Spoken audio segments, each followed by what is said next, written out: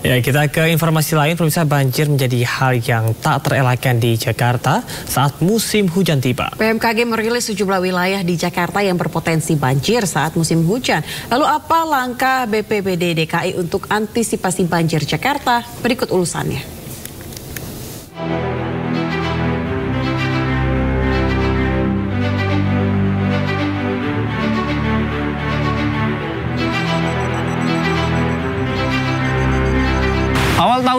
2024 Jakarta bersiap untuk memasuki musim penghujan. Dan biasanya di musim penghujan seluruh wilayah Jakarta akan bersiap-siap untuk menghadapi potensi banjir. BMKG pun sebelumnya telah menyatakan bahwa hampir seluruh wilayah di DKI Jakarta akan berpotensi mengalami banjir meskipun potensi banjir tersebut tergolong rendah. Namun demikian masyarakat tetap diimbau untuk tetap waspada. Dan BMKG pun telah merilis sejumlah wilayah di Jakarta yang rawan mengalami banjir.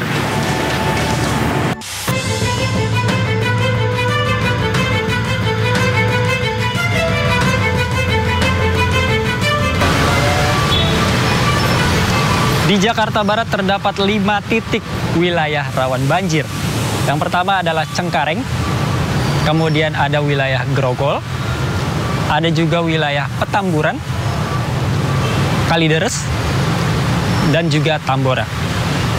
Sementara itu di wilayah Jakarta Pusat terdapat empat titik wilayah rawan banjir. Yang pertama adalah Cempaka Putih, Gambir,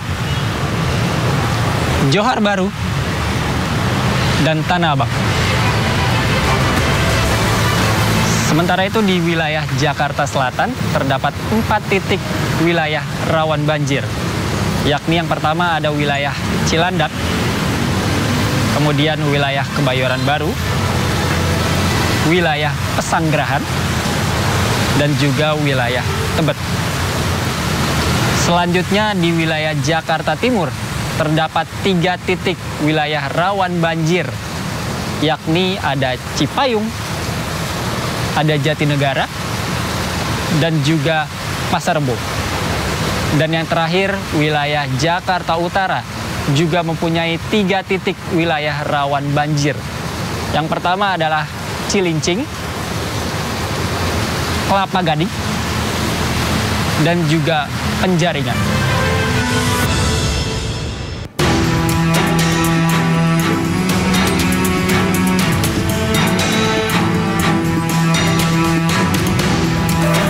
Lalu seperti apa persiapan warga untuk menghadapi banjir tahun ini?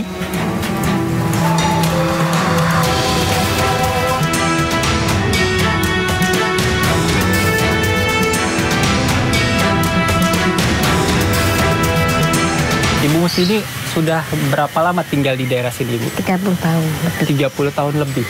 Nah, ini kan sudah memasuki awal tahun 2024 Ibu uh -huh. dan diprediksi akan memasuki musim penghujan. Yeah. Nah, Ibu sebagai warga yang tinggal di sekitar bantaran sungai atau kali ini Bu, uh bagaimana persiapan ini Bu? Persiapan saya pertama saya harus waspada. Yang hmm. kedua saya harus membenahi barang-barang saya ke atas dan yang ketiga saya harus keluar uh, mengungsi me, apa di apa di tempat yang dataran tinggi. Oke. Biasanya di daerah sini Ibu uh, jika banjir ini beberapa berapa ketinggiannya bu? Berapa meter bu? Satu meter. Kalau yang lebih tinggi lagi dua meter lebih di atas. Oh, biasanya satu sampai dua meter. meter. Ya, bu. Tapi paling parah yang pernah terjadi di sini sampai dua meter. Dua meter. Atap, atap. Oh, sampai ke atap rumah ibu? Iya. Oh, persiapan bapak sebagai warga nih apa pak? Ya pertama-tama saya kan dengar informasi dulu dari pusat, dari Katulampa. Yang kedua kan dari sana kan ada informasi siaga berapa siaga berapanya, hmm. apakah siaga satu, siaga dua, apa siaga tiga. Hmm. Kalau siaga tiga ya saya nggak ke mana-mana, cuma beres-beresin tempat ini aja, dinaik-naikin ke atas.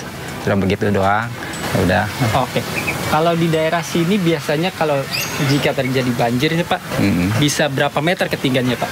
Oh, ketinggian kalau siaga 3 ya sekitar satu meter. Kalau siaga satu ya antara 2 meter lah sebatas itu aja tuh apa tingkat nomor satu dah itu situ.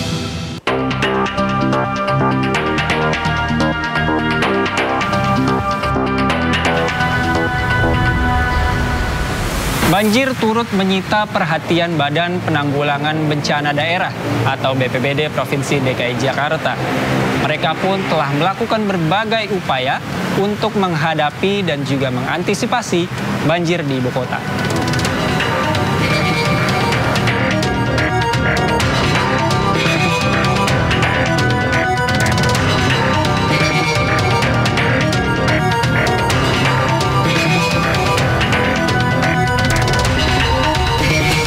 BPBD DKI Jakarta telah melakukan berbagai koordinasi dengan dinas terkait seperti Dinas Gulkarbat, Dinas Kesehatan, dan juga Dinas Sosial untuk menghadapi peralihan musim di Jakarta. Kemudian yang kedua, BPBD DKI Jakarta telah melakukan pemeriksaan terhadap seluruh sarana dan juga prasarana penanggulangan bencana di tingkat kelurahan di Jakarta, termasuk tenda, perahu, dan juga pelampung. Kemudian yang ketiga adalah BPBD terus memberikan update informasi perkembangan terkini melalui kanal digital. Kemudian BPBD DKI Jakarta telah mengaktifkan 267 posko siaga bencana di setiap kantor kelurahan di wilayah DKI Jakarta. Kemudian BPBD DKI Jakarta juga telah menyiagakan 267 personil yang beroperasi secara 24 jam penuh di wilayah rawan banjir. Dan yang terakhir adalah pembukaan layanan pengaduan darurat bagi warga DKI Jakarta dengan nomor siaga 112 yang beroperasi penuh selama 24 jam.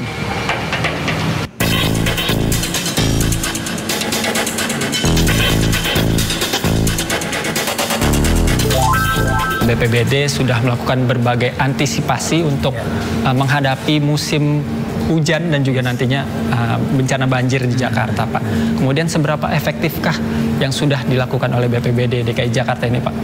Nah, jadi gini, uh, BPBD ini kan kami uh, pertama kita menganalisa hasil prediksi BMKG ya bahwa memasuki November yang lalu Jakarta sudah mulai masuk musim penghujan dan diperkirakan uh, di Januari dan menjelang nanti Februari akan ada puncak uh, musim penghujannya.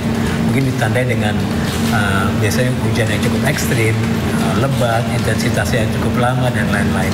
Nah berdasarkan itu kami sebetulnya BPBD DKI Jakarta sepanjang tahun kami selalu melakukan dua hal. Yang pertama adalah kita menginformasikan kondisi cuaca Jakarta per dua jam.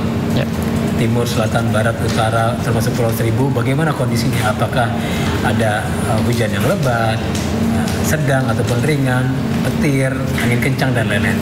Kemudian BPBD juga kami dibantu oleh teman-teman dari Dinas Sumber Daya Air DKI Jakarta. Kita melakukan pemantauan terhadap 13 sungai yang ada di Jakarta istilahnya dengan TMA, tinggi ya. muka air. Dalam 10 tahun terakhir, Pemprov DKI Jakarta juga ada kegiatan-kegiatan berkaitan dengan vertikal drainase dan sumur resapan itu. Ada juga namanya sebutannya lubang biopori, lubang ya. resapan ya. biopori. Uh, itu dibuat di uh, apa ya kawasan-kawasan publik ada di taman ada di jalan-jalan di sekolah di tempat-tempat ibadah tujuannya adalah membantu pengurangan uh, resapan air artinya kita tahu Jakarta kan banyak betonisasi semenisasi uh, yang dulunya masih tanah kosong sekarang sudah jadi perumahan yang dulunya tanah kosong mungkin jadi uh, tempat Bangunan, parkir ya, ya. dan lain-lain artinya uh, daerah resapan airnya sangat jauh berkurang nah dengan adanya tadi vertical drainage, uh, sumur resapan, lubang resapan biopori diharapkan bisa membantu penyerapan air yang biasanya tergenang di titik-titik tertentu bisa cepat surut.